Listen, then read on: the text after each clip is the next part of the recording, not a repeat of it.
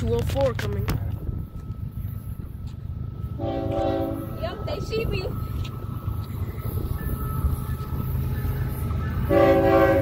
Eight twenty.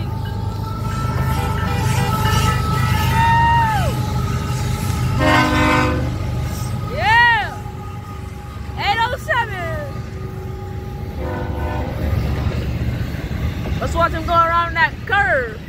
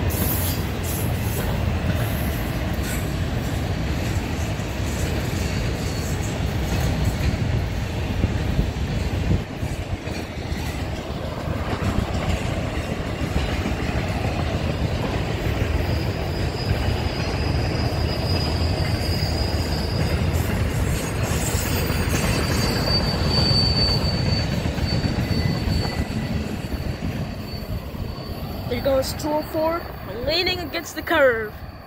Just looks nice. I like the way it leans. The driver and the conductor seeing us. I was wondering if they would know if it was us from Titusville. Cause we're not we're in Cocoa right now. But we're about to head back to Titusville. But I wonder if, if they noticed. They probably thought it was either they either thought it was people down here or they're like, oh that's them. They came down here to City Point uh, wondering what we're doing down here because I'm the only rail fan that wears a FEC vest.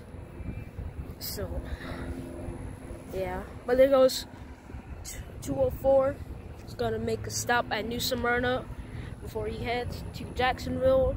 And this is FEC Iron Horse out.